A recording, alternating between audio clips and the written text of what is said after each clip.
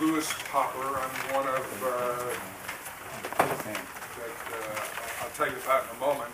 Uh, You are all here, I think you came to the right place, to, to follow what's happening with the sale of the Clarke School, the campus, almost all of the campus, all but one building the campus of the Clarke School for Hearing and Speech. And uh, you probably know, and, and we'll talk a little bit more that, about the fact that the campus is being sold. That is probably the reason you are here, and we'll tell you what we know about it. Uh, the, the group, there's a group of six of us who have been, call us the leadership group, or uh, we actually call ourselves the core group because we couldn't think of a better name. If you think of a better name, you can write in. Um, and our core group consists of, I'll just go in order, Eddie Rose, Dick Green, Janet Gross, Sarah Metcalf, and uh, Robert Jonas must be some, oh, Robert Jonas. Uh, And we have invited, really, any, this is open to the public, we've invited everyone we- whose email address or other address we could find. And we're glad you're here. There's nothing secret about this at all. In fact, Wayne Feiden, who's the director of the city's planning and development department, uh, said quite correctly, I should note that this is not a city meeting, it's not a public meeting, because if it were, it would be subject to the open meeting laws. And we are not, therefore we can close this and make it all a secret, but in fact, we're doing the opposite. Uh, If you're wondering who the young woman is that is looking into some sort of device, uh, what is it, CAT scan? Uh, Her name is Emily, and she is with the North Street Neighborhood Association Yep. which puts this meeting, will put this meeting on their website.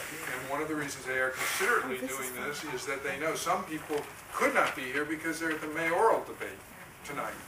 Uh, And I think that's very, I'm glad you're doing that, and uh, you should know, and we all should know, that therefore we can see what happened uh, on, on, on a website. Um, Okay, I'm not going to do more, much more than introduce. Uh, There is sign-up sheet. Let me pass around a sign-up sheet on each side of the aisle, so to speak. Uh, Well, why don't we start, well, start with the audience, So but we'll, Those who don't have seats, please take them. Yes, please, please sit down. Come on up, there are two right in the front row here. What if, what if we like standing? Uh, That's fine. that- That's Let me consult with the work group, but I think it'll be all right, yes. Thanks. Um, We, there's a, what's called an Elm Street Historic District Commission, which is the one existing historic district in Northampton. Uh, We are in touch with them, and they have been represented in our deliberations to a degree.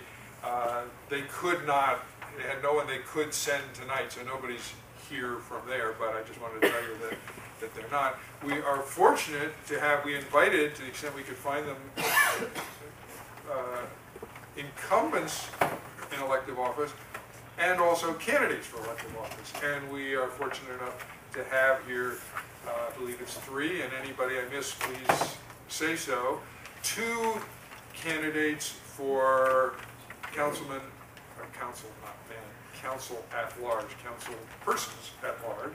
And one is Jesse Adams, who we're glad to have here. And the other is Mike Janik, who is back there. Uh, We also have Ward Two, as you know, has a race, and Ward Two is the ward in which the Clarke School is. And we are fortunate enough to have here Jackie Misa, who is uh, uh, identify yourself, good, and, and she's here. Um, Anything else I should tell you? We've invited uh, the representatives of media whom we know who are interested in this, and I have not, if you are from the media, other than Emily, of course, please put up your hand. I'm sorry, I didn't recognize you or meet you on the way in. Okay, we do not have somebody from media here, although they are in touch with us, and in fact, uh, they will be covering some stories, we'll have radio reports and so forth. Um, I think That's it. You probably all got an agenda. The- A little small pile of agendas is on the back bench there. There are a few left, Emily, aren't there? Yeah. If any of you don't have one and wish to have one, you can either walk back or somebody friendly might bring you one. Uh. I was gonna mention that uh, Bill Corlin, President of the Park, is invited, but I couldn't come. Ah, yes. As we said, we wanted this to be open to get all points of view. Our our object is to make sure that all interests in the community are represented in the in the, the the talks, the discussions, the decisions, and we certainly did invite Clarke, and if they are, somebody's here that we don't recognize, please say so, but uh, we can, oh, maybe, oh, Elizabeth Voice, excuse me. I'm Julie Saran. I, I live here in Northampton and I'm a trustee. Oh, okay, good, That's Hey, welcome, great.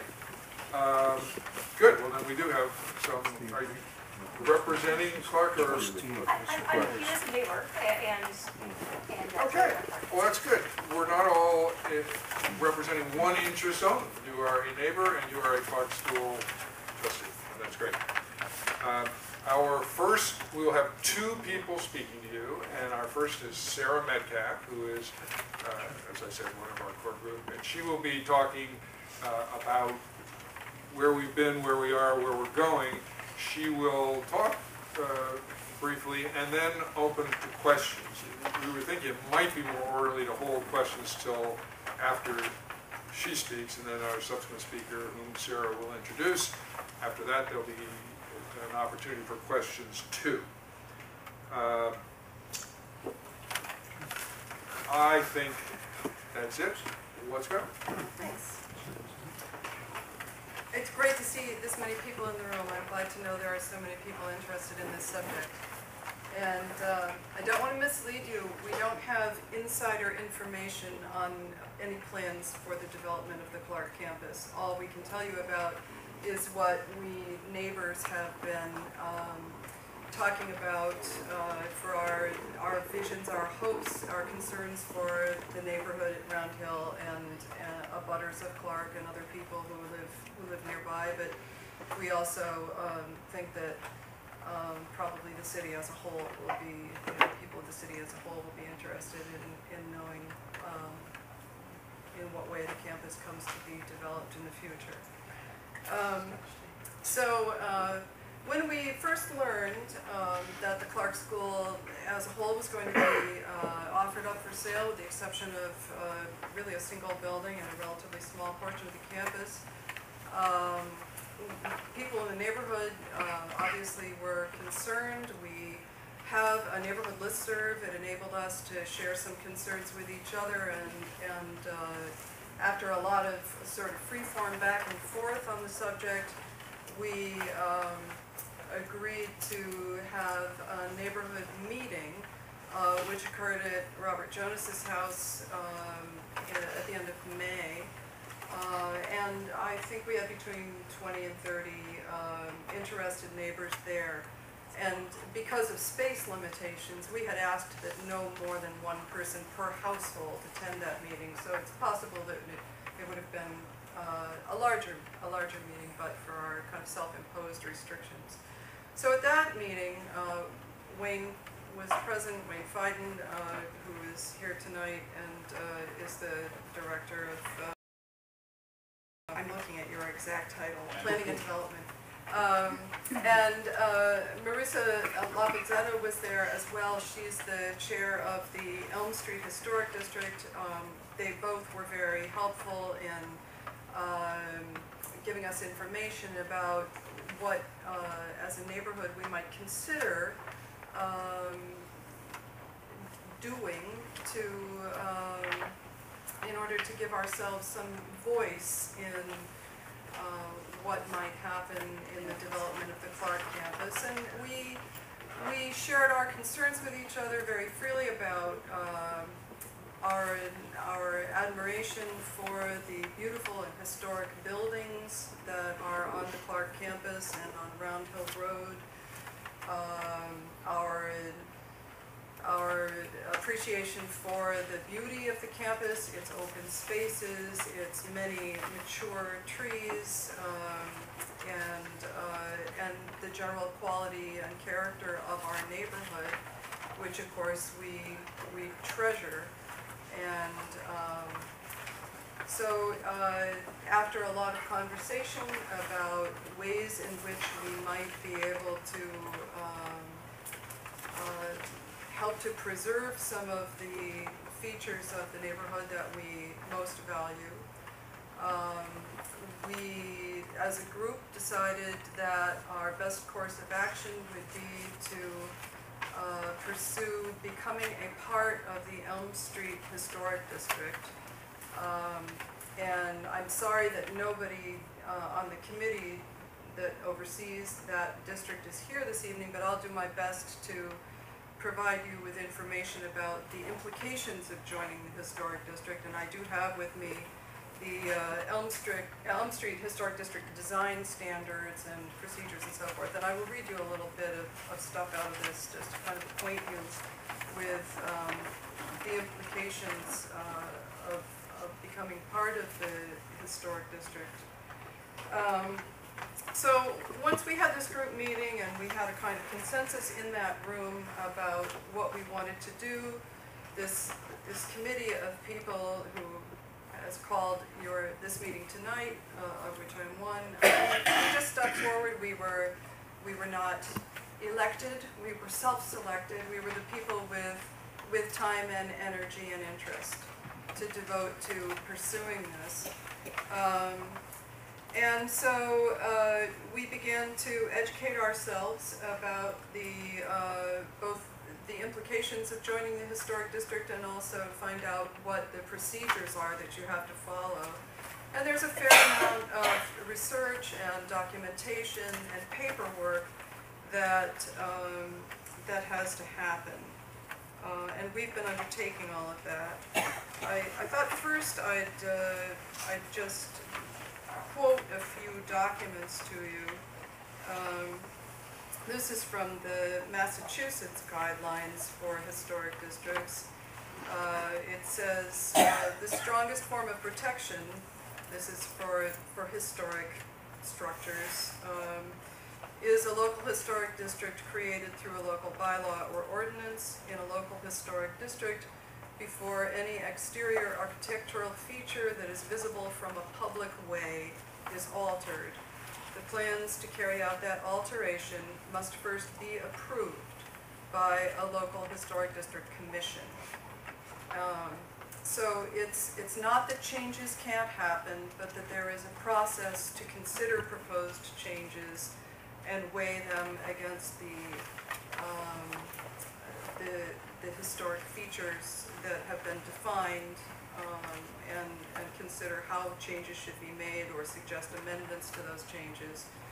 Um, and, uh, the benefits of local historic districts in brief are, and again I quote, "To preserve and protect the distinctive characteristics of buildings and places significant in the history of the Commonwealth and its cities and towns, to maintain and improve the settings of those buildings and places, um, and to encourage new designs compatible with existing buildings in the district." Um, and unlike uh, just adding buildings to the National Register, which is a voluntary thing and which has no kind of enforcement capabilities, the, uh, the historic district is supported by Northampton ordinances, um, which, which gives it some, uh, some clout uh, for enforcement of its standards. Um, so that, that's just a really, really brief um, explanation of what the historic uh, district function is. Um, There's an application process, if you, you know, if you have a building that's within the historic district, you wanna make changes, you want to remodel, anything that pertains to a facade visible from a public way. There's an application process, a review process, and so forth. It's all, it's all very well spelled out in this, uh, in this manual. Um, and the, uh, there's, there's a, a description of design fundamentals that the historic, uh, commission committee would be looking at.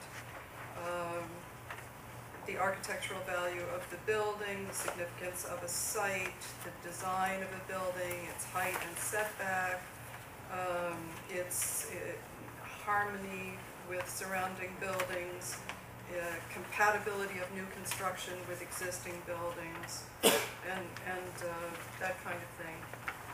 Um, And it, it pertains to uh, additions to existing buildings, it pertains even to some extent, we believe, to landscaping.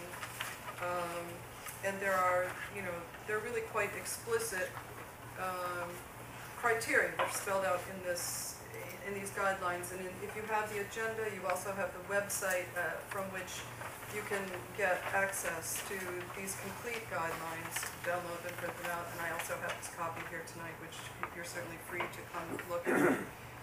Um,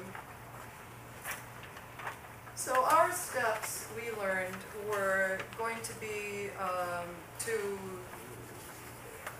document uh, what the historic buildings are in the proposed extension for the, uh, for the Elm Street district. um, To survey affected neighbors and see whether or not they supported the idea of joining the historic district, given that it imposes certain restrictions on, on those of us who would fall within it. Um, And uh, so we did survey everyone affected. I don't know the exact numbers of, of the people that we asked, but the overwhelming majority of them, uh, I think with only one or two exceptions, all said that they were very strongly in favor of joining the historic district. And Janet uh, has all of that uh, information uh, documented in a part of, uh, part of the report that she has now submitted. Um, we, uh, we met with Paul Spector, who is our Ward Two City Councilor, to, uh, ask him about what the process might be like for, for, um, getting approval of the extension of the historic district. There, it comes to a vote before the city council. And he was very helpful to us in kind of explaining how that would work and, uh, anticipating the, the various steps. We um, invited Christopher Skelly of the Massachusetts Historical Commission to come take a look at the neighborhood with us. And Carrie Buckley of Historic Northampton walked up and down Round Hill with us. And we learned an awful lot about the history of the neighborhood. And I, uh, Janet did a great deal of research on this for uh, the materials that she prepared substantiating our, our uh, bid to be made part of the historic district, and I, I have done some research on this as well. Um, and if anyone is kind of curious about this, I made some copies of, of early, uh, drawings of, of Round Hill as it existed, you know, in eighteen ten, in eighteen sixty. Um, some historic maps of the area showing on the top of the hill, uh, there, there were three notable mansions up there, uh, and they were used in succession by the Northampton School for Boys, uh, and then by a, a water cure establishment which sort of morphed into a hotel and spa, and was at one point very grand. And in fact, Crescent Street came into being as a, as a carriage road to lead to the stables below, below this hotel. I found this all very, very interesting, and um, some of the earliest buildings, uh, at least some portion of them are still standing on Round Hill Road. Uh, Rogers Hall is very, very old, and it is, it's, uh, you know, it's one of the first buildings ever built on the hill. Um, and there's another house very near it, which is uh, of similar vintage. Um, and then after, uh, after the, the hotel and, uh, and these, and these earliest, uh, institutions on Round Hill, uh, faded away, uh, very early, the Clarke School in, in its first manifestation, um, moved into the neighborhood and began to uh, acquire property and to build some of the buildings that um, remain on, on Round Hill. Um, I've got uh, a map too from uh, 1895 showing the campus and some very interesting shots of, of buildings that we know and walk past uh, frequently on, you know, the dirt hill, which was then Round Hill Road. Um, so there's really an awful lot of information substantiating our claim to historical significance uh, in the neighborhood. Uh, and, and it was really a pleasure um, to learn about all of that. And uh, certainly reinforced our sense that, that there's, um, there's a, there are many historical traces in our neighborhood that, um, that should be preserved. Um, we, uh, uh, Janet primarily uh, crafted the preliminary study report that, that our committee was working on. It also includes uh, these individual documents about each of the addresses that, that would be affected um, with quite extensive architectural notes and history on, on each of the structures.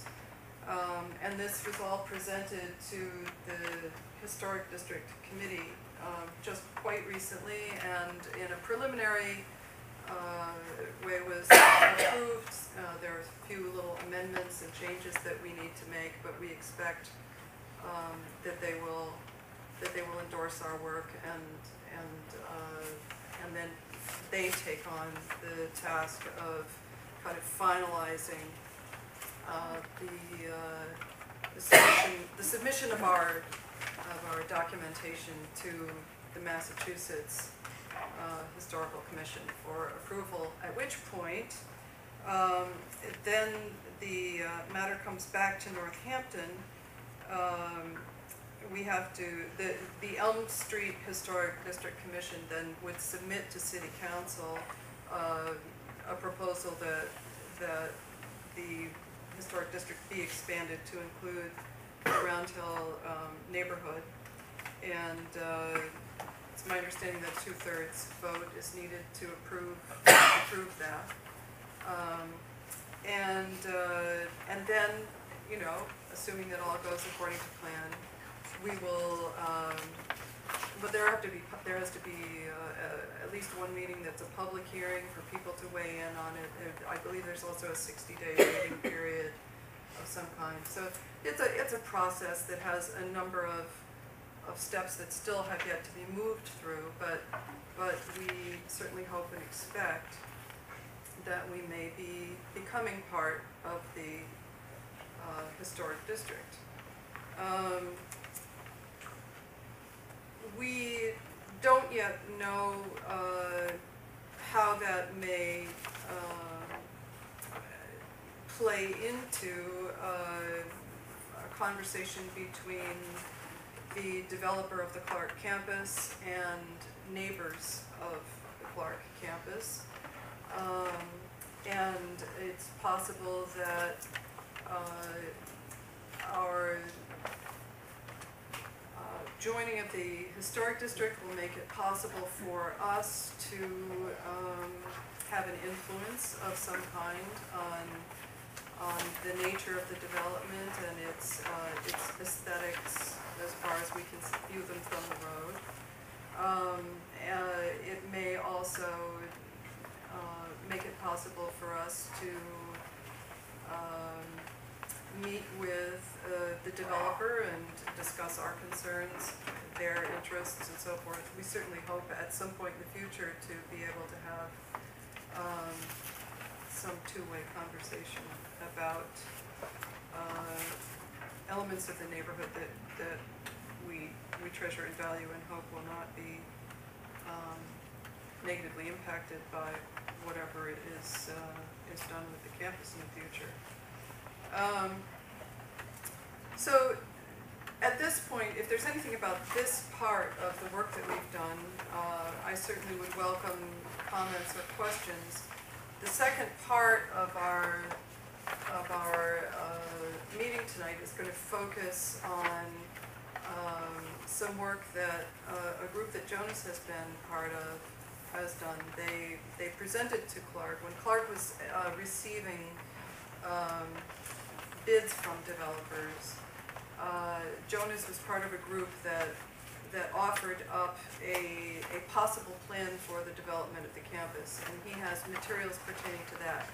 Uh, His group's plan was not the one selected by Clarke, so it, it is not, um, you know, anything that's, that's going to happen, but it's a sort of a sample of a possible plan that we thought it might be valuable to present this evening, um, both as a way of kind of focusing, focusing specifically on, um,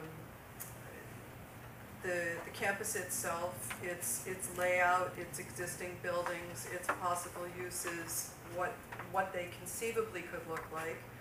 Um, and also, uh, as a way of, um, preparing all of us to be able to look at site plans and, and drawings of this kind in general, and read them, understand them, consider what issues they raise, so that in the future, when the real developer has uh, actual plans to present for public comment, um, we would have had some experience looking at similar drawings. And, uh, and we might have already considered some of the, um, some of the issues that are raised by, you know, development on the campus and, and be kind of better prepared to talk about them. So if you, um, you know, if you have anything you want to ask or any comment you want to make now, Jennifer? Hi. Hi. Um, thank you for your presentation, and thank you all for all the work you've done. Um, I'm Jennifer Addis, I live on Bancroft Road, and, um, and I'm, as I'm hearing you describe, um, the process that this historic, joining the historic uh, district will- entails, I'm thinking about that point when it comes back, if it makes it that far, and I'm optimistic I hope from what you're saying, that it will make it that far, and it comes back to the city council. To wonder, we've got an election coming up, um, how many people are actually on the city council, and does it make sense for us to find out where they stand on this, and for us to, those of us that support this, to use election time as a time to bring forth our concerns, because, um, you know, Clarke is an institution with a lot of influence in Northampton, and while they've contributed a lot, I really am very concerned about the development and how the development will be done, and I feel like this historic district is really, uh, a critical piece to neighbors having any say. And so I wonder, I don't know about the city council and the numbers and the, you know, that issue. Well, we've had occasion to talk to certain city council members and, uh, and candidates for the city council, and I think anybody in this room who's interested in this issue, uh, should do the same thing. You know, if you have an opinion on the subject and you want your counselor to know, or if you wanna ask a candidate, um, where they stand on the issue, absolutely, that's, I, I think that's, that's a good way to proceed. Uh, we're, we're certainly very interested in knowing what people's, um, views are on this, and, uh, and we'd like to have a chance to talk to them too about, uh, about concerns of, of people who, who live in the neighborhood. Though I think, you know, the development of the Clarke campus is of concern to more people than just the people who are right cheek by jowl with it. I think, uh, you know, the, uh, the quality of the neighborhood is, is, and, and its historical, um, um, buildings are, are of value for the city as a whole. Yes, Uh, Sarah, in, in uh, relation to Jennifer's question, has it been part of the charge of the core group to, other than Paul Spector, to be in touch with city council uh, members? we've done a bit of that, yeah, we have. Apparently, the um, Elm Street group when they were at this point invited, the, the chair invited each city council member to her house for breakfast. And I assure you that we have been practicing making waffles and pancakes. But I, I think the point here is that the more voices that each city council person hears, uh, the more concerned city council people will be. I mean, Jesse, maybe you want to speak to that point as a city council person. Well, Sure. I had the opportunity to meet with, with the core group, and um, I've heard the concerns, and, and I've talked to Paul Spector, and when he gets back from vacation, he and I are gonna, gonna work on developing the district. Um, He knows more about it than I do. I haven't, I haven't been involved like he has for, for the number of years that he has.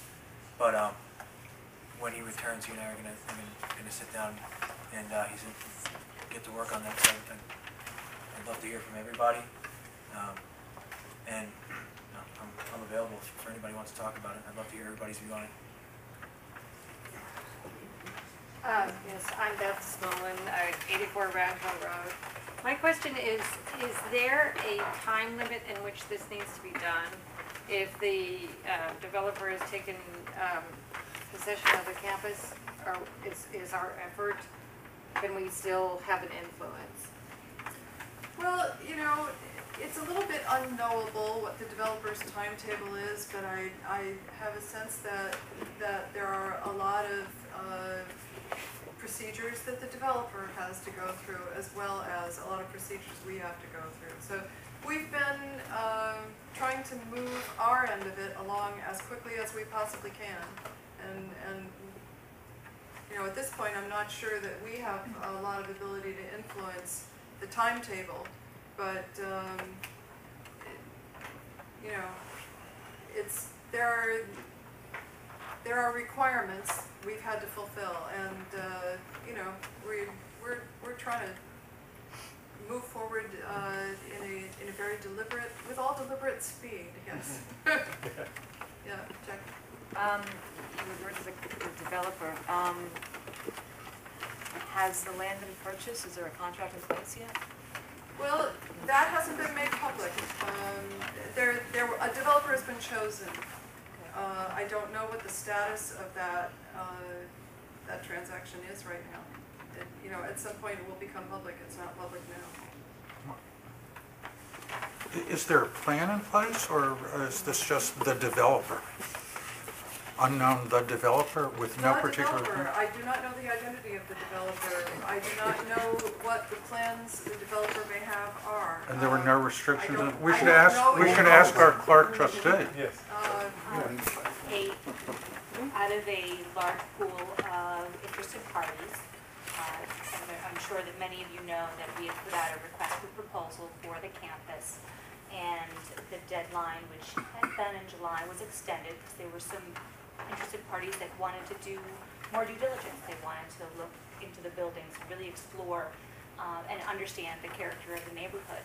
And talk to a few of you, and I, I know that a few of you, uh, when I say you, as in the neighbors, uh, maybe you, those that they spoke to are not here this evening, uh, but they did have some conversation with, with neighbors about uh, what they were interested in doing. And out of those several uh, proposals, the school has identified what we feel is, quite frankly, the best opportunity to preserve the character of the neighborhood. Um, You know, I'm, I'm not at liberty to say who the developer is because we have not signed an agreement. It wouldn't be fair to the developer for me to disclose that. But I would say it's important for Clarke because we're gonna continue to be there on Round Hill. Know, several trustees live in the area. We love, we love the neighborhood and we would not have chosen this developer if we did not feel that it would be in character with the neighborhood. So I, I can't say to you the details, but you need to go through your process because that's your right as a neighbor and as a property owner. And, and we welcome that. But there also is something to be said for a little bit of trust. And I know that without knowledge, it makes you uncertain, and that's uncomfortable. And that's reasonable. But there's, for those of us that are going to be here for the long haul, uh, and I consider myself one of those, I feel very good about the plan that was presented to us. As a person that lives here in Northampton and who has lived here for sixteen years and plans to live here for, until I'm given the There's a question The back first there. question was on the back there, there, in the far back. Uh, I'm not sure, who, uh, yours? Yeah, uh, Jane Rainey, Langworthy Road. I don't know if we're talking about 11 acres or the entire campus right now. And I had heard that only 11 acres were being developed. And I'd also like to know if the three historic buildings are within that 11 acres. Within the, you mean like in the heart of the campus, not visible from Correct. the street? Correct. Uh, my information is that it's eleven point something acres. It doesn't include Bell Hall and its immediate grounds, right, but the whole rest of the campus. So, um, I, as far as I know, uh, historic district, uh, restrictions would not have any effect on buildings that are not on a public thoroughfare. So I, I mean, I suppose if a, you know, if a road were opened up into the heart of the campus that was a public way, that then, uh, historic district, uh, guidelines would then apply, but, uh, it really only, know, really only covers things that are, are visible from, from the street. So, I mean, but, uh, you know, we could certainly hope that uh, other historic buildings might be seen as valuable by the developer and, and in some way preserved or used. Who else was, uh, yes, you, Peter Jones, formerly of 23 Round Hill Road. I'd be interested in knowing what some of the criteria Clarke used to judge the proposals. Since one was chosen, there had to have been a comparative process. And I'd like to know some of the things that the school was looking for from developers. well, I'm, I'm absolutely not in a position to speak to that. I don't know if you have anything you want to say on that Um, subject? I, Can you stand up, please? yeah, uh, sure. Um, There were a number of criteria. Um, First and foremost was to preserve the character of the neighborhood, because as a volunteer, excuse me, I've been losing my voice all day. Um, As a volunteer for Clarke for many years, part of what drew me to Clarke initially was that I wanted to see the buildings, because I'm an architecture buff. And then when I saw the work was doing, was going on there, that's why I decided to volunteer. So part of it was that we wanted to make sure that the character is preserved, because our children will still be there. We'll still be your neighbors. So we wanted to make sure of that. We also wanted to make sure that of the proposals that were presented to us, the maximum amount of green space was preserved. Um, This, the, the deal that we are currently negotiating preserves much of the green space that we see as the beauty of the Clarke campus. And it is a reuse to, uh, I, I, and I, I'm not a developer, so I would say, when I looked at the plans, um, the majority of the buildings are reused. Um, I didn't see any details for tear down, not a single one. So generally speaking, when I look at a plan and I see for a development plan that there isn't a tear down, that there is a reuse of buildings with beauty, that's a wonderful thing Economic viability was another. You know, any sort of speculative development in this economy is a challenge. And the developer with whom we've been negotiating um, has a track record of successful redevelopment of this site, of this sort. So there were other lesser important criteria, but I would say those were the primary criteria. Does that answer your question? Thank you. Welcome. Anything else anybody wants to ask at this point? Yes? Yeah, I, um, other than, um, my name is Bill Ames, I live at twenty-six Crescent. Yeah. I lived at two oh seven Crescent for forty years. So I've lived in that neighborhood, and, uh, I'm very concerned about it. Now, the thing is, I know change is coming, Clarke School is no longer, I guess I'd say no longer needed because we don't have as many deaf children.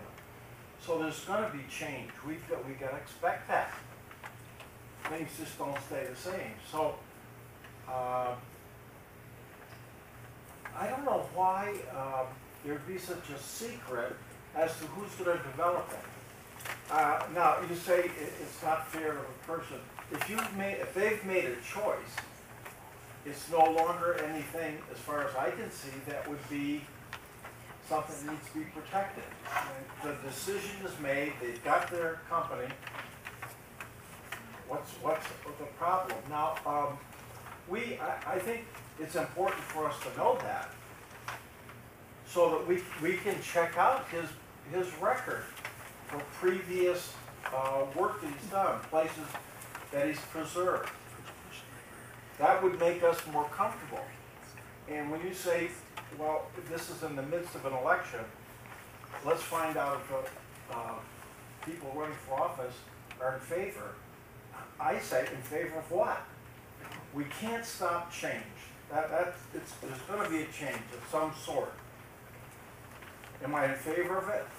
I don't like change. I don't like it at all. So, um, I would say, uh, tell us who the, or we should find out. I, I'm surprised it can be kept a secret today. Nothing's a secret. I mean, People on the internet. We're asking WikiLeaks to help out. I, I, I hear everything you're saying. We're all very curious to know uh, what the plans are, and, and we will know that in time. But, but you know, it's, it's unfortunately we can't simply demand to see them right now. So, yeah. Uh, Sarah, can you talk a little bit about how the core group determined uh, what the, ex- what the application, what the new definition of the Elm Street Historic District would be? As, as I You mean the understand it. boundaries Yes. where they would fall. Exactly. Well, actually, the existing uh, Elm Street Historic Commission people were the ones who suggested those boundaries to us. Um, And as I understand it, they have long been interested in, in pushing the boundaries of, of the district out at, at various points to include some more of Northampton's historic buildings. And the Round Hill neighborhood was part of uh, an area that they had long been interested in bringing under their umbrella of protection. And uh, so it, it just, you know, happens to neatly circumscribe the, the Clarke campus, but it also includes buildings that uh, don't belong to Clarke. It includes uh, private residences, it includes some buildings that belong to Smith. Um, It even includes some very unhistoric structures. But, you know, because, because, uh, you know, not all the old things have, have remained and some new, new things have been put up and they just happen to fall within the boundaries.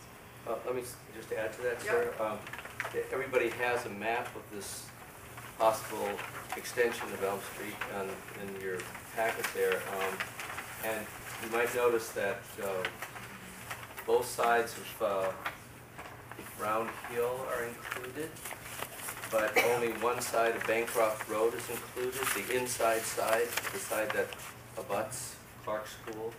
Also notice that, um, neither side of Langworthy, the houses there are not included. Uh, comes behind those houses. So those, those decisions were thought through. Um, we've had a couple or three meetings with, with Wayne here discussing staff capabilities to sort of, uh, oversee any extension. And, uh, other issues came up, but, uh, rather than summarizing everything we discussed, this, this is kind of how it worked out. Maybe Wayne wants to add something there. Well, I, just, you know, I have to leave in a few minutes, so I, I'm more here as a resource, so if people have questions for any ideas, I'm happy to, I don't have to spiel. Is there anything that anybody wants to ask Wayne while he's here with us? Yeah, Uh, What are the current restrictions on building in what's now the Clarke School? Um, from a historic standpoint, there's none. So, um, every place in the city that's not in the historic district or downtown is covered what's called demolition delay. So if Clarke or anyone else wanted to tear down a building within, the- within Clarke School now, they have to come before the historical commission. If the building was built prior to nineteen hundred, which most of those buildings are, or is a listed building from 1900, 1939, they have to ask the, the historic district, uh, the historic commission for the right to tear it down. The historic commission could say, yes, you can tear it down, or they could delay it by up to a year, but they couldn't prohibit it. So that's the current rules. Um, And then under zoning, um, zoning limits the, the, how the property can be reused. um, And frankly, can potentially actually be one of the problems here is that it's hard to reuse some of those buildings. So again, I don't, I don't have any information on who the developer is, but some use of the buildings might not be allowed, and so potentially it's worth looking at the zoning to think about. What would not be allowed? Um, Well, it, it zoning talks a lot about the number of units, and, and so the reality is, if you're taking a large dormitory, and again, I, I don't know anything about the developers, I'm just sort of totally speculating, but you could imagine the way the market is for a large dormitory, it's unlikely to be divided into a bunch of 2,500 square foot units. It's more likely to be smaller units. And zoning isn't about the amount of units, are- the amount of building being developed, it's about the number of units. So there could be a disincentive there if you want to make it, you know, smaller apartments, for example. Does that answer? Yeah, no, there's, the, on, on, I, I live at 52 Crescent Street on one side of the lawn abutting, that extends down from what used to be the President's House. There's an apartment building on the other side, um, that obviously falls within what's acceptable in zoning, and something like that would be an acceptable use. Do you, you know the building, I mean, it's Yeah, at the, Yeah, the issue is really how much land goes with each unit, because in that, this is a shortcut, it's not exactly right, but i- i- you need about six thousand square feet of land per, per dwelling unit. So you could take any building and do any amount of units you want with it, but that eats up the land. And so it depends on how they want to divide the land. When, she, um, when, um, our school gave this, uh, project to Landvest to, uh, receive the bids and, uh, advertise the property, they, um, they put this design up that it would be possible to build eighty-four units up on Round Hill.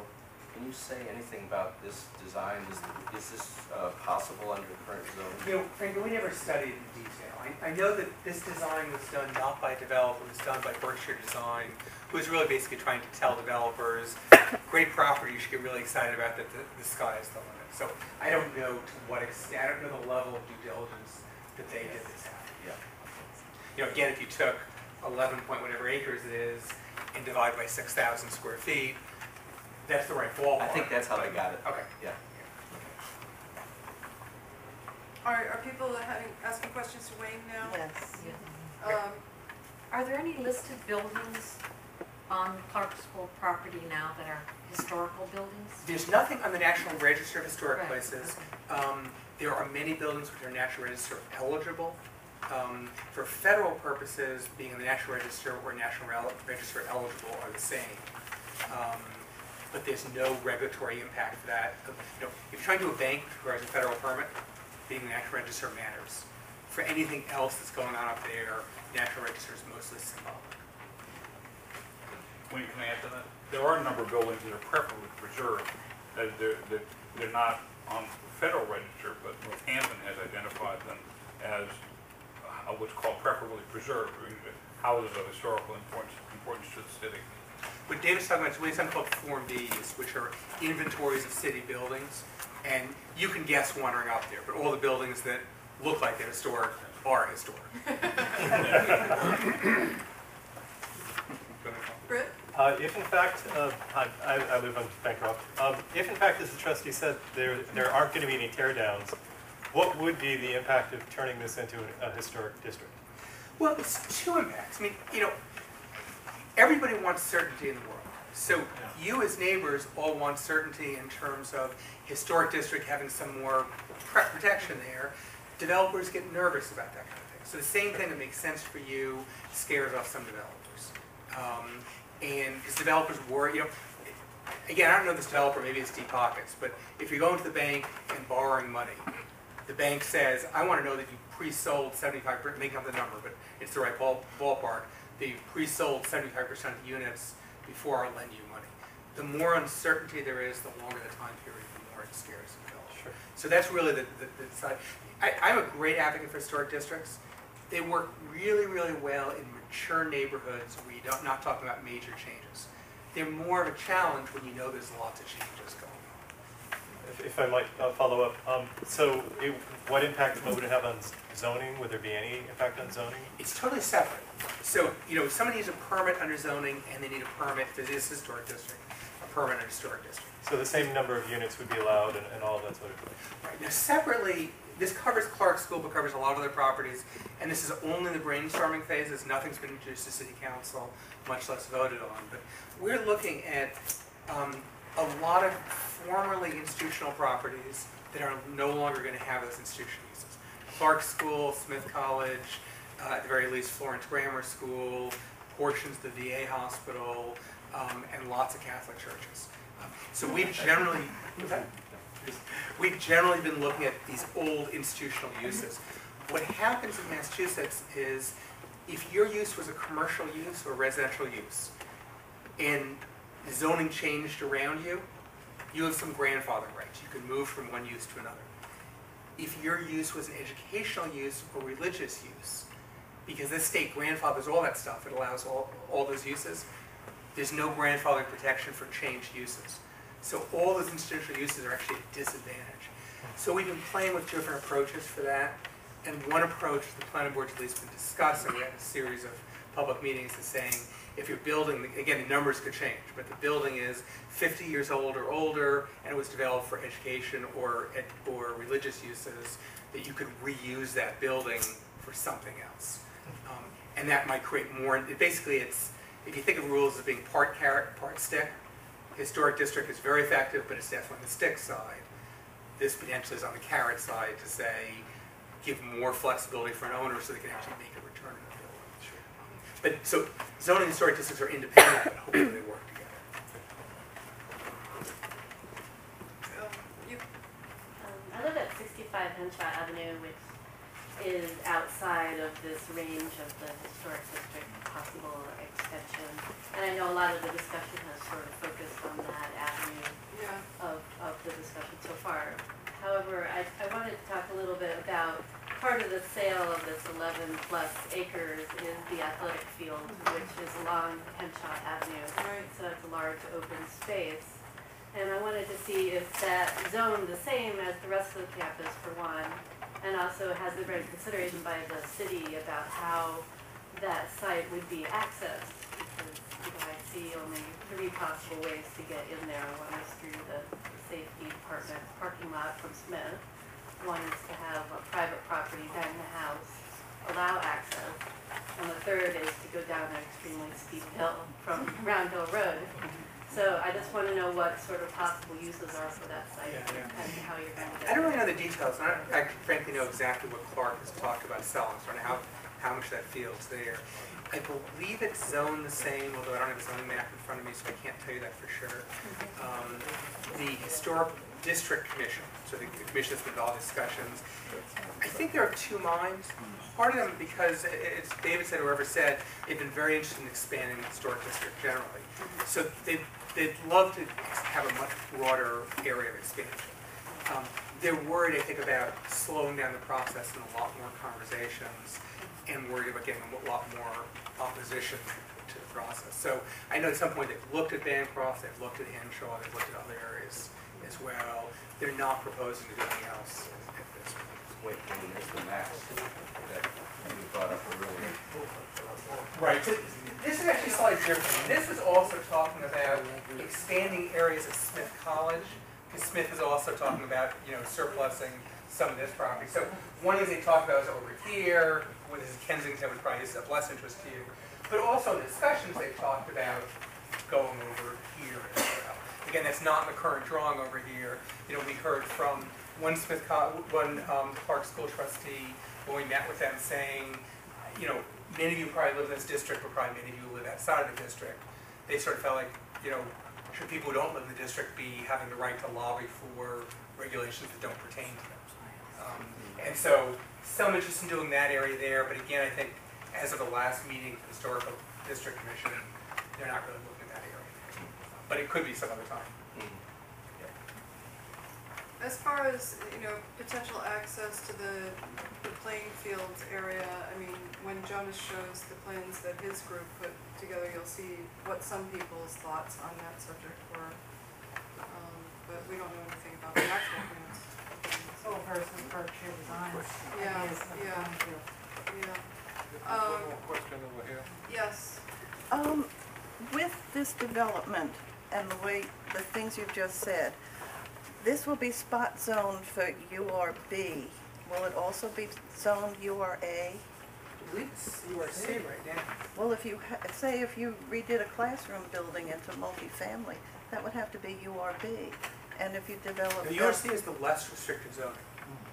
So campus, for, for districts we have that are primarily residential, this is the least restrictive zoning that we have. But we want restrictive zoning. But right now, We want-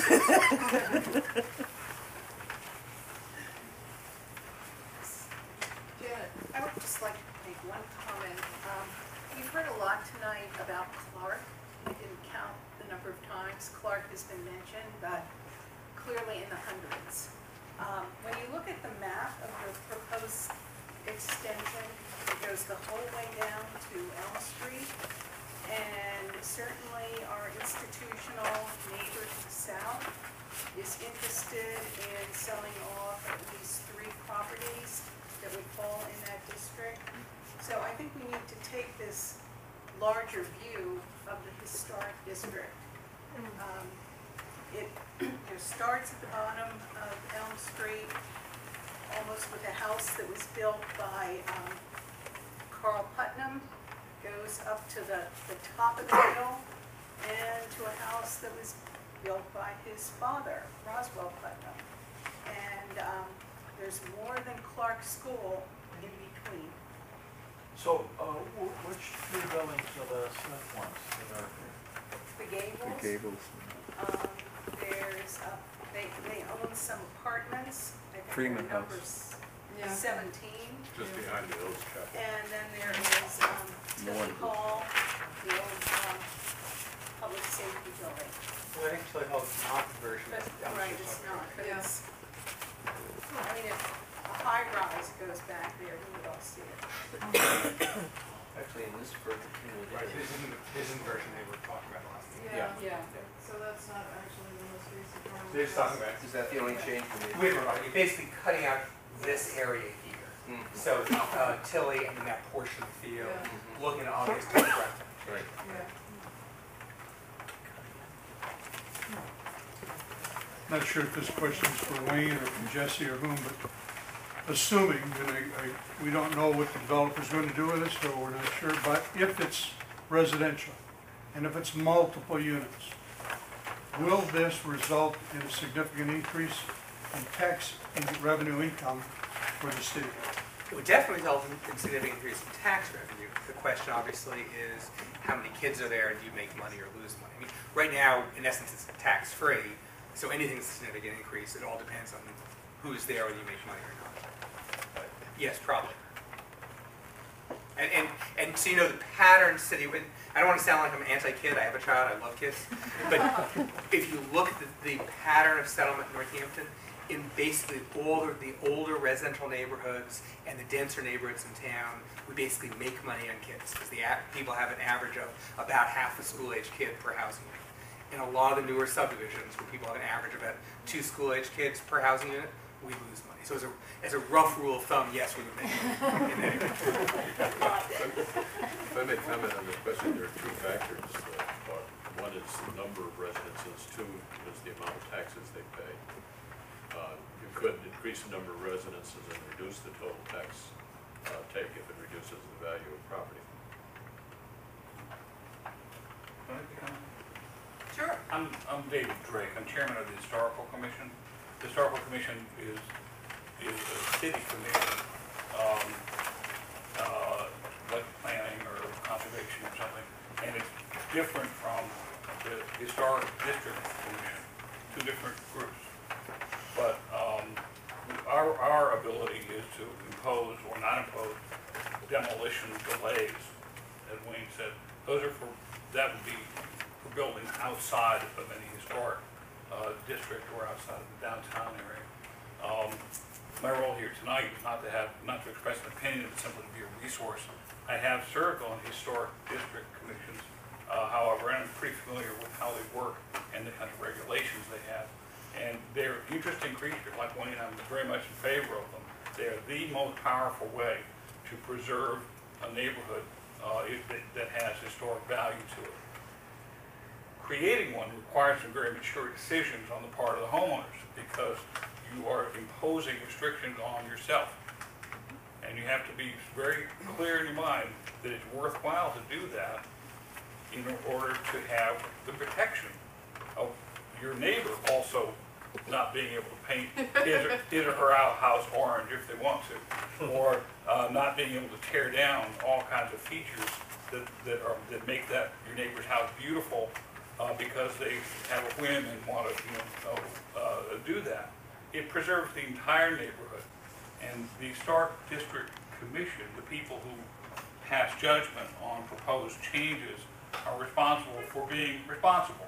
For not turning down reasonable request, But um, the district commission, the Historic District Commission, basically is there to make sure that if, if you, uh, if you have a house that looks historically valuable now, that it's preserved that way, and that nobody uses the garish colors, nobody, um, uh, you know, frankly, looking at this audience, I, I don't think we're talking about anybody wanting to put Animal House in there, in, in, in, in the middle of the neighborhood, but, but you never know, and that's the thing. It, it, this Historic District Commission, uh, for preservation really does help you, uh, avoid those unforeseen and undesirable changes that would take away from the historic value of a neighborhood. And, uh, it, it, you know, it does, there are people who say, you know, nobody can tell me what to do with my house. And if that's your attitude, then a historic, a historic district is kind of rough, because they, they can tell you what to do with the outside of your house that faces the street. They actually can, uh, unless you, you know, want to pursue it in court. But it is for a purpose. And no reasonable change is gonna be turned down. It doesn't mean you can't build anything. Um, theoretically, it doesn't mean you can't tear something down. But it does mean that if it's historically valuable, you may be turned down in your request.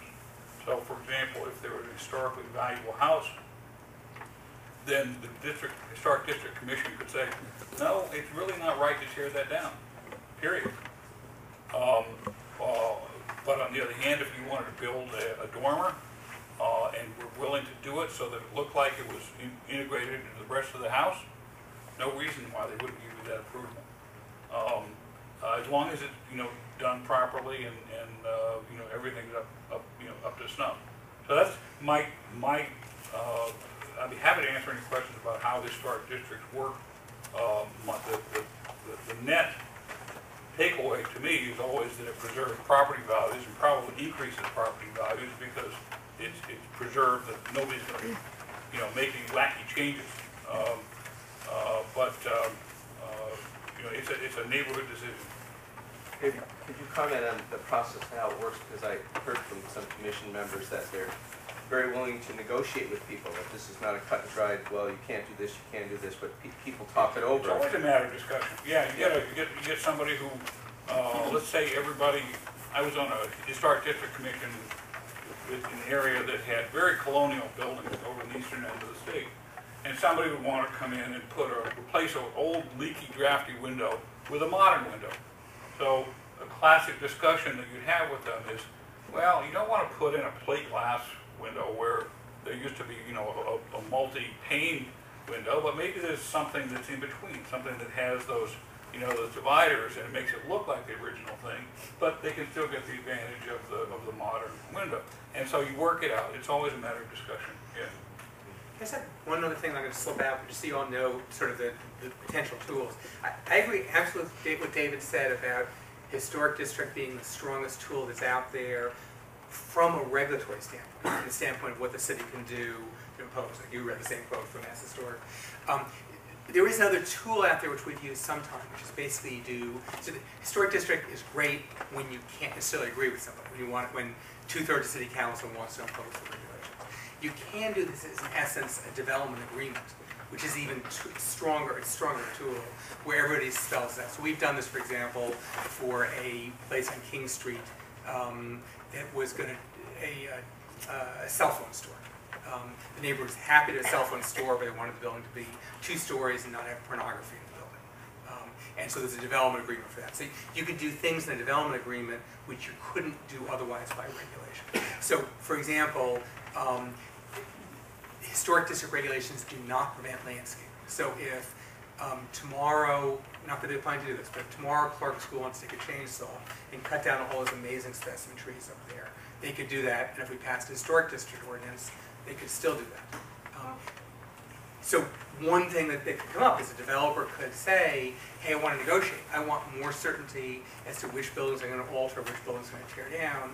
In return, I'm willing to give you more certainty about which, what landscaping remains. So it's a tool, it's only a tool if everybody agrees to it. Frankly, I'm not trying to give you political advice, but frankly, the path you're going down is great because it puts pressure on creating a historic district is an effective way to get whoever this developer is to the table. Before there's actually a vote for city council, that may be the time to sit down and say, do we really want to go this path or is there a different route?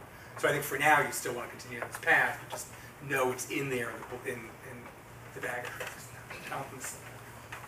Thank you very much. Maybe, maybe Wayne stay, it's pertinent question or comment. At the risk of playing devil's advocate, perhaps, Mr. Drake might be close to this, I don't know. There was a house. please. Can't hear you, you. can you stand? I can't hear you. At the risk of playing devil's advocate, perhaps, um, there is a house on Cherry Street, um, next to the jail, that recently won an award for historic preservation. And I'm not sure which, which, which, which order that should have been under, which level of protection that should have been under, are you familiar with it? But- Well, The awards don't, don't, don't Right, protect in all, terms of just antiquity, but in terms of his historic um, relevance and or antiquity, are you sure, are you, do you know what r- level of um, protection that might have received normally?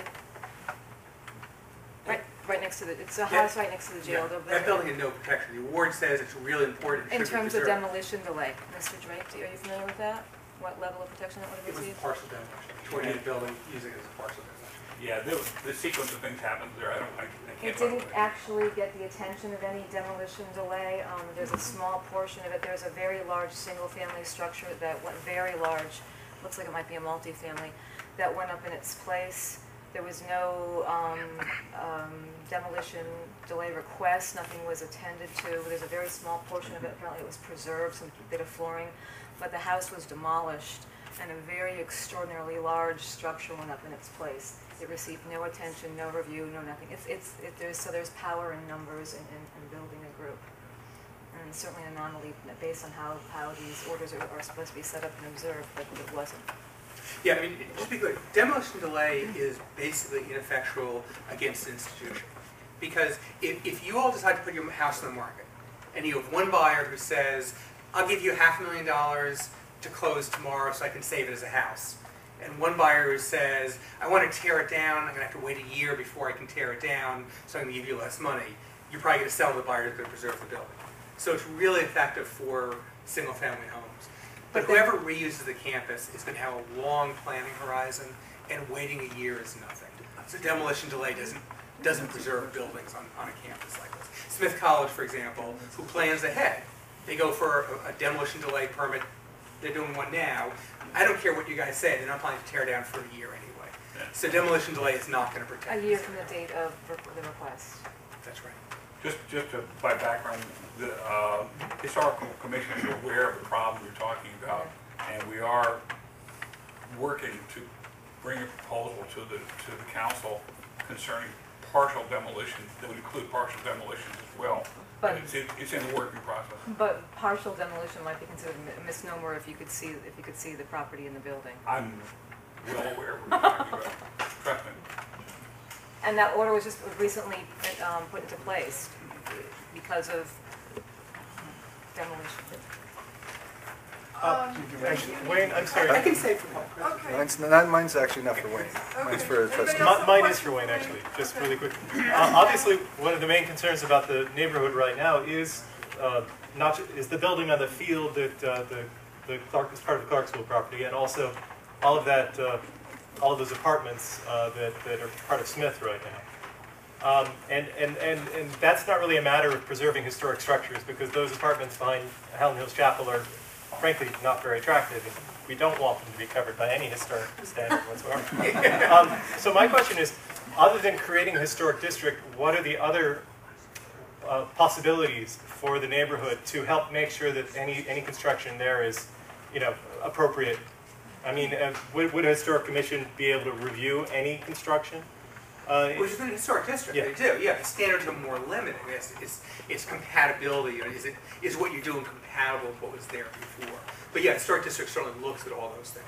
What other things should, should this committee consider There's uh, a lot of to, uh, in here that you okay. can read on that subject.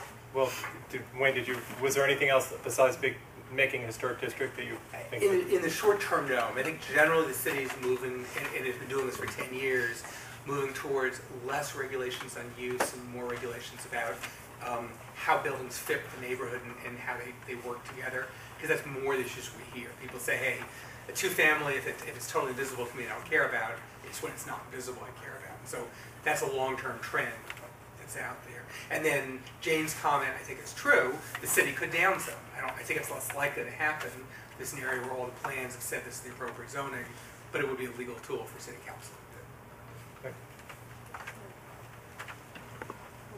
So I assume that this project would have to come up uh, for site plan review through the city. Yes.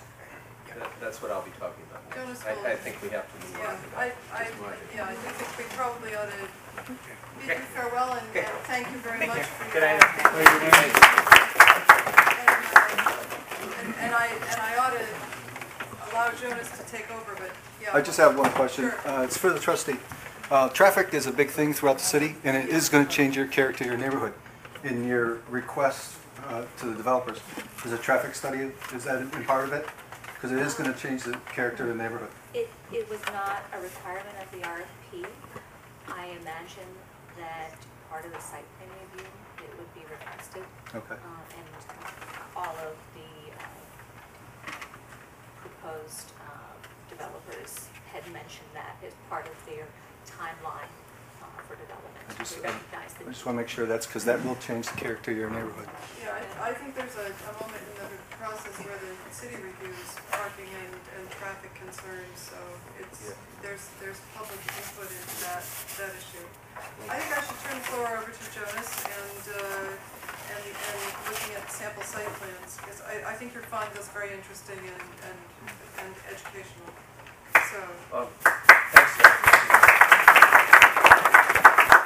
We wanted to be out of here by eight thirty, so I'm gonna try to be brief, um, and maybe go a little bit over. Um, Whether or not Round Hill becomes part of the historic, Elm Street Historic District, there will be a site plan process that the developer will have to go through and present the new site plan to the planning board. Uh, Planning board has power to change that site plan, to ask for changes and so on um, in accordance with the ordinances that exist. So there's the background of the ordinances, and then there's the planning board, which is sort of the enforcer.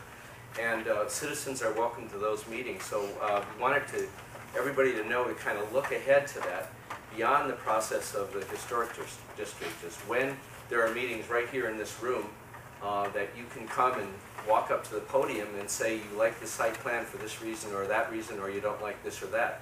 Um, And it will be very critically important for you to get a copy of the site plan before uh, it's presented to the planning board. What, what we in the core group would like to do is to make sure that everybody gets a copy of that site plan when it, when it's ready. And that we have a meeting amongst uh, interested folks, interested citizens, to look over and make comments on the site plan, so that when we come to the meeting, we're prepared we're educated and prepared. And I, I'm speaking from experience because we had development happen near us once, and um, I was not prepared. I was kind of overwhelmed. I, we had a site plan that looked from above and not from the sides, and uh, certain things happened that really uh, harmed us and reduced our values of our of our property. I wasn't prepared. So we're hoping to prepare you if, if you want to be part of, part of that educational process. Now, one thing, uh, one little educational piece that I, I developed is, um, as a neighbor, I, I got extremely interested in this. Uh, we, we have a we abut uh, the Skinner parking lot in the back of Clarke School. And so, uh, and we've got a couple old elms there that's got, that have to be um, maybe 100 years old, um, 60 feet high. And I'm looking at those trees and going, I hope they stay. But do I have any power over that? Probably not. Well, maybe I do. Anyway, about a year ago, I started calling uh, local people um, who are professionals. I called Jonathan Wright. I called, who's a local builder um, that very highly respected. I called Harry Dodson in Ashfield, who's a landscape architect. I called Joel Russell, who's a local zoning lawyer, um, very well respected, has worked on King Street stuff. And um, uh, historic renovation architect from Boston. And uh, we had eight people that I finally got together in one meeting after I had given them tours of Clarke School. So I, I was on six or eight tours of all the buildings. And I got to know the campus really well. And I didn't necessarily want to do this, but I just kept looking at those trees and that space and what can I do? So I, um, we had several meetings with this team and then we, fi- an investor stepped up. Um, and so we made a proposal, we responded to the RFP, and we tried to keep neighborhood concerns in mind. We looked at the neighborhood from every angle, including ours, selfishly. Um, and also a couple other neighbors in particular were very interested in how, how to protect their, their backyards and so on. Well, uh, in the end, our proposal was not accepted, and I understand why. I, I have no bad feelings about that whatsoever. Um, I'm sure that you made a good choice, uh, and I don't know who the chosen developer is either. Um, but um, I spent a year on this, and I have all this documentation that I would like somebody to use. So that's what I'm selfishly going to share something with you, which is a site plan that Harry Dodson did. And I'm, I'm showing this to you to think about this. Think about, these are the kinds of things that you think about when you're doing a site plan. And um, so here's option one. Now this site plan, let's see if they can, if everybody can, see. we might need both lights on, yeah, okay. Do you need that other one off? Can we move the podium? Try it off. Can Okay. you move the podium so we can see, because we can't see? You know, I could probably make it bigger by Thank moving you. it too. Is that okay? Or you can move Thank you forward. very much. Okay, so Yeah. a couple things we discovered in our team, and I, I'm really glad to from the trustee that it's possible that there would be no demolitions, because what, what our team member, an engineer and, and the, um, construction guy, uh, did, did not, uh, we felt that demolishing buildings would actually be more expensive and building new construction. So that, uh, so we came to the same kind of conclusion that the big buildings should stay. But our team also felt that even renovating all the buildings and the old, the existing buildings and putting in apartments and condominiums, uh, our team felt that you couldn't make enough profit for either Clarke or the developer if you didn't do any new construction. We felt there would have to be new construction. So this plan is irrelevant. It's only here as an educational tool. Um, although I would add this, if, and maybe the trustee can correct me if I'm wrong, but Clarke School might negotiate of, um, the, the deal and, and sign on the dotted line and sell it to the developer, and then the developer, now that they own the property, could decide to do new construction. Mm-hmm. Wouldn't wouldn't that be true? You, once you sell it, you no longer have control. Would that, would that be true? Correct. Mm-hmm. I would Yeah, think. that, that is a true legal statement. Yeah. I, I don't think it's appropriate for me to comment on the Yeah. particulars of the deal. Right, okay. Um, I mean, maybe you could, maybe they could write it into the deed that there could never be new construction, I don't know. But let's say there is a new owner and they can come up with this idea. So, um, here's Round Hill Road. So, we felt one possibility would be to keep Gawith and to, um, we had people come in from, say, Lathrop community to have a retirement community. So there wouldn't be as much uh, traffic maybe with families, and we would have, uh, the, when Wayne was talking about the children, that would not be a factor. But there would be three new houses on, on Round Hill Road. And the gym and the pool would disappear. That's the only, this, this is one plan where we decided, let's try it without the gym and pool. Even though it would cost five hundred thousand dollars to tear it down. We felt, okay, if you put three houses there, and then you put some here, and you put the parking right in the middle, and you plant lots of trees so that all the neighbors have greenway, this would all stay green down along Bancroft Road. So we have some residents here tonight along Bancroft. This, this would be a permanent green area that would be deeded to stay green. Further down on Bancroft, there would be three houses. You know that area now, it's park-like, there's nothing there. It's very steep. It's too steep to build up in here, so the people on Crescent um, would, would have these new houses, but there would be greenways planned there. Um, But there would be nothing in here, because it's too steep anyway. Uh, The boiler house is here, there would be some parking that would be constructed here. There's some old buildings here that would be torn down, and these would be a few residences. The residences would be compacted toward the middle, so the people around the outside would still be looking at green. And the traffic flow would have to change. There would be parking in the middle. And this would be a new road around here, around the middle, and uh, coming out here.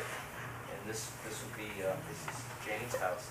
um, Jane and Nick, uh, Ja- I'm sorry, Janet and Nick's house over here, um, with the driveway that we we reconfigured to, to make it better for Janet's, uh, family.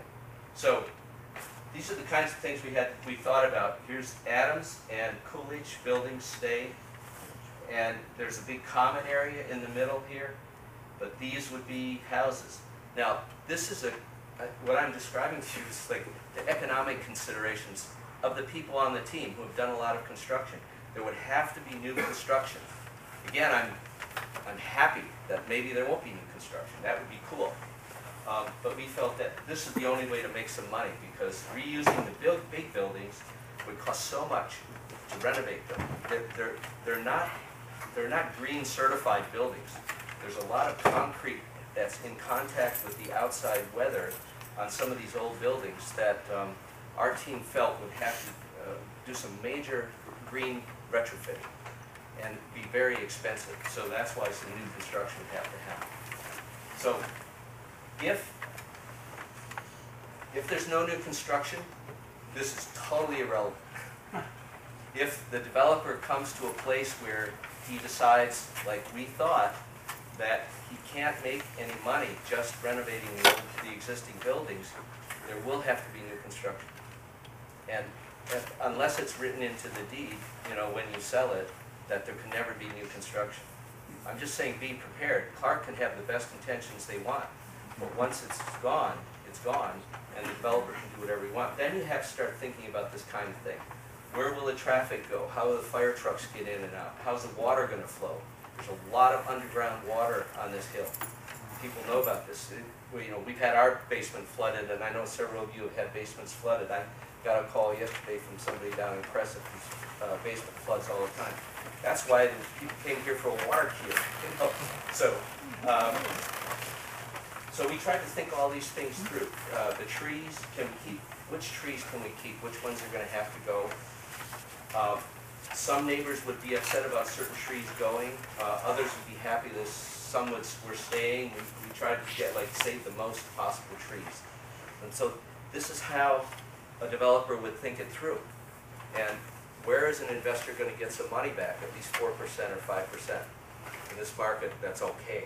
You know, they like fifteen percent, but that's not happening anymore.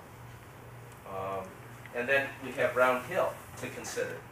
Even if there's no new construction and you only put apartments and condominiums in Rogers and Coolidge and Gawith and Hubbard, um, and Adams, I'm sorry, Rogers is over here, uh, you'll still, you might still have a lot more traffic.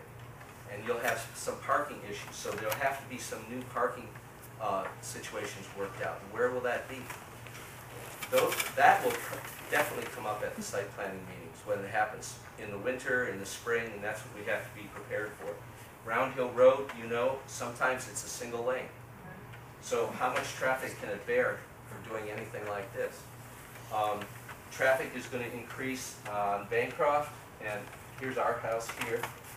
And traffic is also gonna increase on Crescent, probably back here. Um, It's not possible to put any new inroads in from Crescent. Um, I don't have across the street, uh, I'm sorry, um, down off Henshaw. We had some new housing going in Henshaw and the, and because, you know, it, it's, uh, sorry to use this phrase, it's crass, but a profit center. That soccer field is really attractive. It's one of the few places where you can build a bunch of houses. We thought about a pocket village that would be up the hill further from Henshaw, so Henshaw people would only see green. Um, but it would still be a downside for Henshaw folks, I realize that.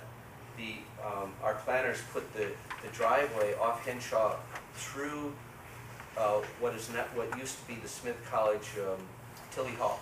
It used to be Smith College Police Station, which is now for sale, or will be, it's not for sale yet. Yeah, but, I mean, if we go further down Round Hill, three houses above Helen Hills Hills Chapel are gonna be sold. And then back here, the old police station. And down here, Henshaw, so a driveway coming up into that, into a pocket village down there. As far as we know, um, the trustee is correct, there will be maybe no building down in Henshaw, which would be great. If they can do it and make a profit, that's, you know, cool, more power to them. I'll just take some questions, I'm just, that's a very quick overview of how, a site plan, how it works, yeah. What did you think to do with the boiler house? Um, we had a possible buyer for the boiler house that wanted to make a, an office building out of it. And, um, our idea was to have this be a five to seven year plan and, um, gradually get buyers for the different houses so that it would all work, you know, that it needs a master plan.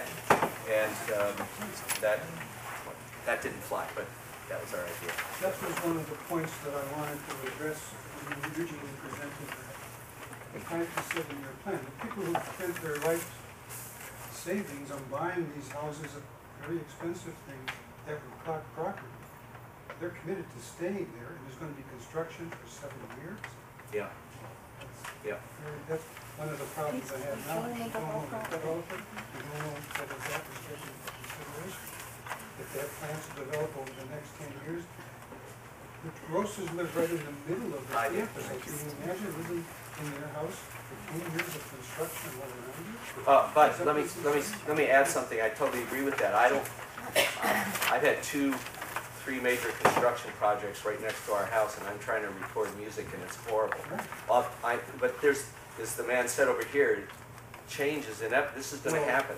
Yeah, But if you have a five to seven year plan, um, it's all not gonna happen in one place for seven years. Something's gonna happen for a year, then someplace else for another year, et cetera, et You cetera. can, you can hear it, that, that whole area on the top of the hills like an amphitheater. You can hear all the construction that's going on in the president's house now, Yeah. which is quite removed and it's indoors. I know, sound travels horribly. There's no way, I don't know, if there's a solution to that, yes. It's one of the things that should be Don't the access to trucks on. You had a question back there? Yeah. Um, I kind of wanted to bring this up when Wayne was here, um, but since you mentioned Henshaw and some Smith properties down in the area, and I, I, I don't mean to um, harp on any issue, but keep in mind that Smith also has an overlay district, so in the areas where they can build, they don't have restrictions. So if you're gonna have development with Clarke School, and then if there's, um, any change of development with Smith, then where they're essentially without restrictions, there's, there's two layers or levels of possibilities there, so that's to keep, be kept in mind perhaps. Yeah, yeah, that's right. But they, by the way, Smith has taken no position on the Round Hill ex- extension of the historic district. They, they're trying to remain neutral. They're not voting for or against it. But you're aware of the overlay which supersedes in its, in Yeah. outline? Okay. Yeah. Just want to make one comment if I may. The Magna House owns one-third of what appears to be the athletic field. It's Yeah. not as big as it looks. Interesting. Yeah, yeah, that's true. And nothing could be built on that one-third that's on the Magnet House side, yes. Britt? Uh, just a, just a clarification from the trustee. Did you say, you said there were going to be no tear downs, but you didn't say there's, no- there's going to be no construction, right? Um, that- Make sure that I answered this correctly. Um. I don't have the plan in front of me. I'm going from memory, but my recollection is that the buildings, uh, that part of what attracted them to the campus was to, was the ability to reuse the buildings. Um, I don't know that long-term, uh, but they expressed considerable reservations over new construction in this economic climate, that they did not see, uh, that they looked at the inventory, um, in, in the general area for like neighborhoods, um, with uh, properties not moving, and they didn't think that it was economically feasible. So, does that answer your question? Yes, thank you. The the problem with that, as Jonas pointed out, is that that's not a permanent commitment. Oh, sure. Yeah, unless it's written into the deed, that nobody can prevent, them from doing new construction. It's, it's difficult, it's a difficult situation for Clarke and the developer. I just want to acknowledge that because, right, it's such a down market and investors are drawing back from investing in real estate. And also, we have Hospital Hill and other places that are unused, you know, and they're not being rented and they're not being leased and so on and so forth. So to come in and start a whole new situation, it, it, it's risky, you know, so just acknowledge, difficult situation. Yeah, Um, why were you denied? denied. Um, why, why, why didn't they accept your proposal? Um, I, uh, they can speak to that, but, um, I, I'm pretty sure I know why, and that is that we could not justify a big upfront payment. You know, like five or eight million dollars. We, we just didn't feel like we could, in this market and with, uh, where we felt the profit could come from, we didn't feel like we could offer a big, uh, upfront amount. That's just my own feeling. Oh, yeah. Let me ask a question. Yeah. Um, I have a question and a comment. Um, If you would, for the group, would you tell us the total number of units that your proposal had uh, had entailed? Because I think it's hard to conceive when you're looking at the buildings versus the number of units, because clearly going from a daytime educational institution with a very small number of people there overnight Yeah. versus neighbors coming, you know, through the, coming up and down the street, that's very Right. different. So Yeah. how many units in total did your proposal include? Uh, I, honestly, I don't know. Um, I, at one point it was thirty-four, another point it was forty-four, and that, but we never were able to count how many apartments or condominiums or light office would go into Rogers and some of the other buildings. I don't think we ever counted those. I believe it was higher, but I'll, I'll defer you, you've got your own proposal Yeah. in front of you. But I do want to say to you, for one, um, there are a couple things that I've taken away from this evening. And first is that I was glad to hear that my household is a profit center for the city, so that was always nice. Because we only have a dog, we don't have a child, so I guess that's good. Um, But I'm a good neighbor, and we pick up after. Um, Really, I, I, I appreciate your position in wanting to know what's going on in your neighborhood. Because if it were next to me, I would feel the same. I live in the South Street neighborhood, and change is a challenge. I, I hear what you're saying, and I understand. And I, I can only express to you that all of the Clarke trustees know that they need to do what is best for Clarke and for the neighborhood. That we are, we have been there, and we will continue to be there. So I would ask, please just trust. I know that the details will give you comfort, but I think that you'll be happy once you see them. Um, Except for the gentleman who doesn't like change at all.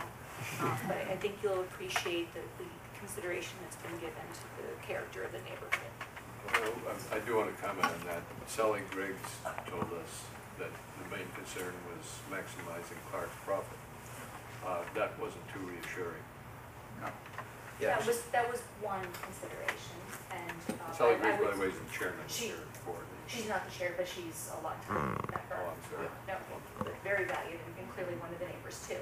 Um, I, I would say, without going into the particulars of yours, I, I would say one of the challenges that it presented is that it would have Clarke being a developer who would be in partnership.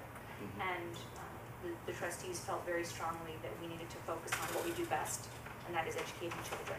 And that it wouldn't be good for the short term or the long term of the school uh, to be in the business of, of developing real estate. And so we wanted to put it entirely onto a developer who had consideration for neighborhoods. Yeah, I, thank you, that, I, I agree with that, um, because we, the master planning process that we had in mind would have been a partnership over time, yeah, it's true.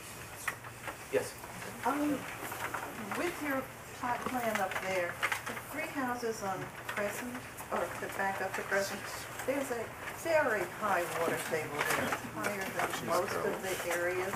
right here, Yeah, yeah. yeah. And has anybody done any kind of a water study? I called the state geologist six years ago, there's nothing on the books. And if you're going to develop, I'm going to demand curtain walls. Uh-huh. Do you all know what curtain walls are? Yeah. It's terrifying to Well, think that they'll put basements in and realign all those underground springs. And nobody knows where they are. of course, if there's no new construction, that's not a problem. Well, it's a problem. But Yeah, putting but it in is a more problem. parking lots and creating more asphalt in- infrastructure for all of us is a major problem. Yeah. If there could be more asphalt, that's true, and it could, the water could get worse. It- We have not, we've talked about this in our, in our group, uh, how to get more information about the water situation. And, uh, yeah, maybe we need to hire somebody, I don't know, we talked about that too. Uh, Jonas, I want to make another comment. Yeah. People are leaving. Um, This is going to be a political process at two stages. One, the historic district, two, the site plan. So talk to your friends and neighbors uh, about turning up for those uh, critical meetings. The numbers of people are going to be important and influential. Yeah, yes. I mean, I think I just got here, my husband and I have a lot of concerns about what happens if this begins and everybody runs out of money. Right. I think that for us, that's the primary problem. Right. We love Clarke, we went through a great process with Clarke. We don't think that Clarke is going, is gonna have to go through the same sticky process we went through to buy a building from them, so we feel like the city should really be demanding from Clarke the same thing that Clarke and the city demanded from people who purchased buildings from Clarke itself. It's only fair. And also, and also, I think that, um, really, in this market, if this sells to someone, once it's out of Clarke's hands and it's not an educational institution and it doesn't have the kinds of, you know, the kinds of, um, really great things about Clarke that have made Clarke a wonderful partner for the city.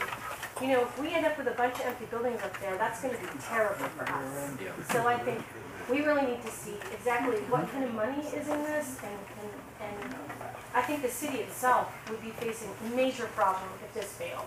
Yeah. So I think that that's something that we, that's, we are more than what's gonna change, what would happen if it doesn't roll. Yeah, yeah, I'm with you.